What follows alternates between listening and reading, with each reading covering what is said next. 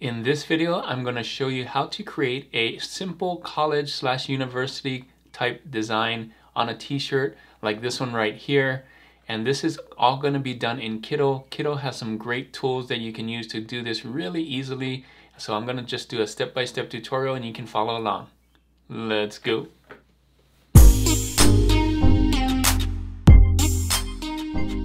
Thanks for joining me on this video. My name is Juno with Detour Shirts. I've been designing and selling t-shirts online since 2005 and I want to show you how to create a simple college university type design and this is all going to be done in Kittl because Kittl has some really great tools uh, to make this really easily, uh, especially the text on the top where it's arcing or, or doing some kind of distortion.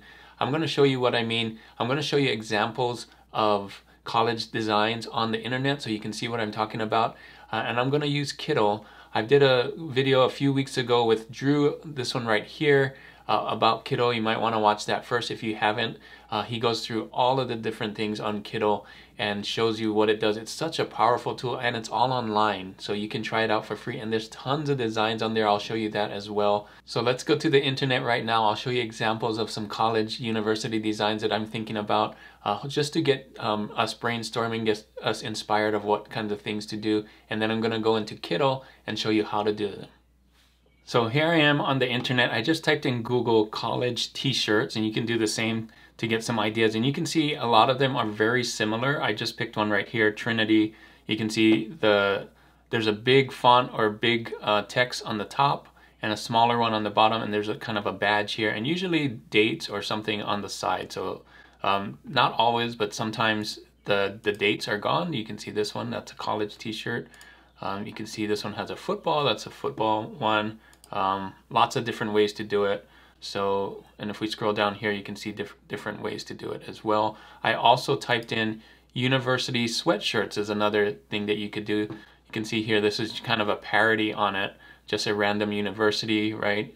Dates. Sometimes there's a wreath, sometimes there's a banner. You can play around with those kinds of things.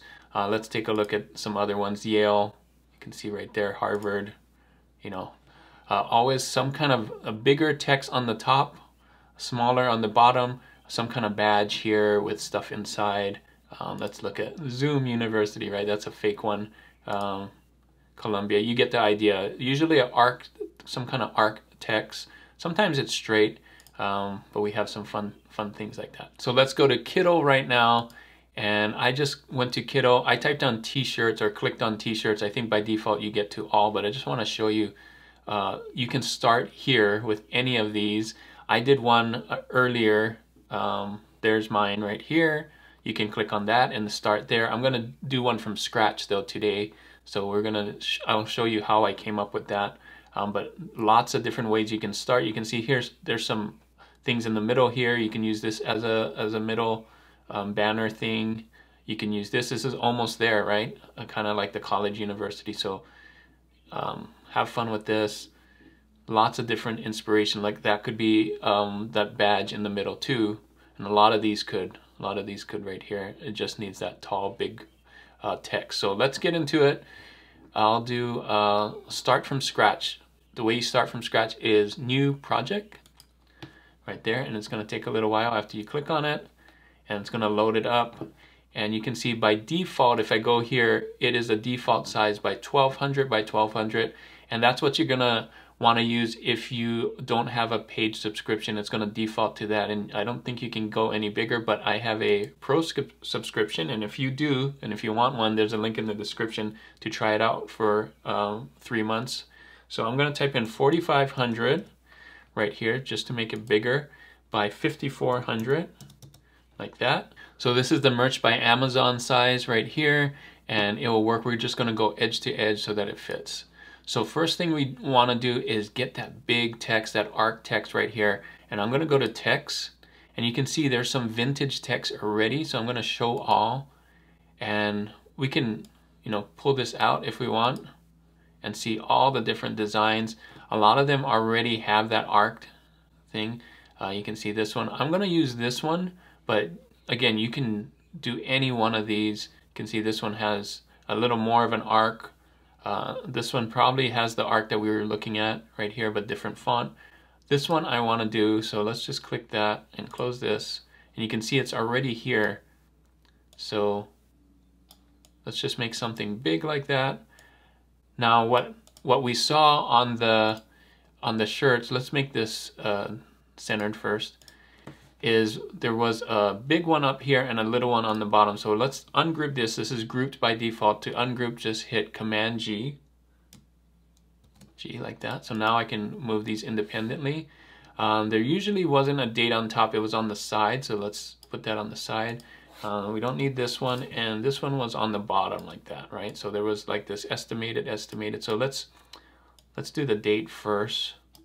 So let's copy this. You hold down Option, click on it, and then hit sh click Shift and drag so that it just stays on the same one.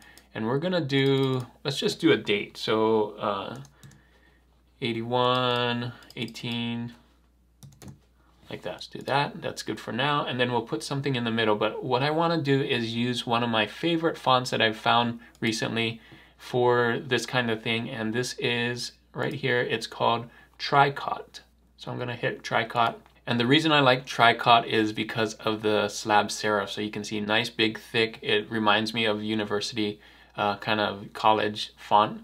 I'm going to do the same down here, uh, Tricot right here. And we can change this to whatever we want. So let's just do, I'm gonna just pick a city. Um, you might wanna pick one that's a little shorter, like long city like Philadelphia would fit, but it's just gonna be skinnier, right? So I'm gonna do uh, Phoenix, like that. There you go. And then of course, Phoenix, Arizona. That's, that's an easy one. All right, so now let's need, we need a badge here in the middle. So let's go here to elements and guess what? They have badges. So just pick any one of these badges will work. We saw a lot of different examples online. Um, I'm just gonna pick one. Let's just do this one. Boom. Or, you know, it can easily switch out to this one with the lines here or whatever we want, right? There's so many good ones. It's hard to pick sometimes. That one's a cool one. That one's a cool one. Let, let's just pick one of these. I'll pick this one. You can see it just, it already looks like what we're talking about, right? So let's make these dates a little bigger, like that. I mean, you can use any font you want. It doesn't have to be Milk Store. I'm gonna use this one that's a little skinnier, London News. That's kind of cool.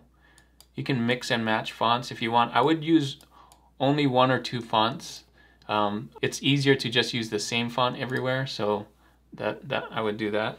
Um, I'm gonna delete this and and then just copy this one so it's the same size, 81. And this Arizona needs to be bigger, so let's do that. So we're just getting everything in the right proportions. Cool, and you can center everything too if you do this and this and hit center, make sure everything's in the center. So you can see it's really close to what, what we saw already. Uh, if you want to make this taller, you can. You can hit edit transform right here and then grab some of these and just make it taller. So I'm holding down shift to make sure that it's same, but you can see I have more of that arc now. So you can see I have the straight top, but there's other things that you can do here. You can do a rise or arc or wave or any of those things. Um, for the athletic design that we're doing, we probably either want custom, distort was what we have, or arc. And arc is just like we saw in most of them where it's a rounded top as well. So I like this right here. We're gonna need something in the middle just to give it some interest. So I'm gonna go to illustrations and Phoenix, when I think Phoenix, I think uh, cactus. So we could type in cactus, but let's do this first. Look at all these animals that you could put in here. So we saw we could do that. That would be really cool. Phoenix Hawks. Um, Bumblebee would be great, right? I mean, any one of these would, would be cool. Uh, just make sure that it fits nicely. The snake may look cool, but, well, yeah, I think the snake would work too. I was just to say the snake looks kind of tall, but um, you might want something more square, like this, this tiger. Look at that.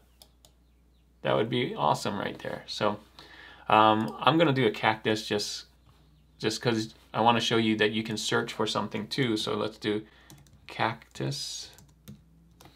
And Kittl has a ton of designs. You can see tons of cactuses already. I'll just pick this one and let's put it inside here. All right. And you might want to maybe even break out of it like that. Cool. Now, the other thing I would put, uh, put some words in here. So let's zoom in. You can just zoom in like this. Hit that bottom part and then put in some text here. So let's do text. All you need to do is hit the letter T and you got some text. By default, it's going to be black driver, but we want to change that to tricot and make it bigger and put it down here. Uh, I'm just going to type in, you know, Phoenix, I, I think Valley of the Sun. You can put whatever words you want in here, right? This is just fake stuff. So let's see how big it is. I'm going to zoom out just a little bit or there, maybe one, one more in, just so we get that roundness. So here's how you do the circle. Um, by default, it's at the top, but you can switch this to the bottom by invert right there. And all you got to do is make the circle the same size as the circle inside. So let's do that. So we want to kind of capture this and let's make this um, text bigger. So let's go until it reaches that. All right, so that looks pretty good. And you can also you can also make it wider. So this right here, or the letter spacing in between, you can see how that, that works if you want to do something like that. Cool. That's looking really good. So let's um, zoom back out. You can see I can I can put some other things in here um, just to give it some space. So let's let's do some lines here. So um, we could do illustrations Another thing you could look for is line. So I want to just put a line above and a line below. Let's do that. Real easy in Kittl, right? And then I hit Option, Shift, and drag. Click on it and then drag. That's kind of a nice thing. I'm going to click on these two, hold Shift and click on that and group them, Command G, and then move them whoops, option, hold down option. I forgot to click option. Now you can see they're in both places. That's looking good, right? Um, you may want to change the color. So now that we have everything in place, uh, let's make sure we want the right color. So zoom out. So think of the background color that you want here uh, instead of white. Let's say we want a blue. Um, like a darker blue like that any blue. You can pick any color here. So uh, you could do red if you want too, right? So let's let's stick to our original plan blue here. Um, and then let's say we want these things uh, different color. So opposite or contrast with blue is orange. So let's do some kind of more orangey thing right here. Something like that. And now that we have that color, it's real easy to have the other colors match it. So we just go here, here, you know, match that orange, just pick the same one here. Uh, I would suggest to use only one or two colors. You saw in those examples that they were basically a dark color on a light t-shirt or a light color on a dark t-shirt uh, and maybe a couple of colors. So let's just do one color for now. So maybe this color right here is that orange and this color right here is that orange, or you could do white. Let's do maybe white and orange are, are two good colors here. Let's do this one. Let's see what this is if we do that orange. That's kind of neat. Uh, what happens if we turn this? Oh, that's neat too. So we could um, reverse the text now and do that white or even that blue. That's kind of neat. And then those white um, ones, why don't, why don't we make that blue? That, that could be cool. Now we got to change that cactus. So the cactus um, could be, you know, blue and then this white. So we, we're trying to just, trying to just have two or three colors. So yeah, that could work. right there. And if you wanted to make that orange instead of white, we could do that too. Kind of have that stand out uh, and, and, do this. Oh. If you want to bring it down to just two colors, right, we could do that. Oh, we're, we're missing a color here, and that's that sneaky one. So I'm going to move myself away and I'll, I'll show you what you can do now to just make sure everything's two colors. So here's the colors for the whole thing. So you can see I'm still, that color right there.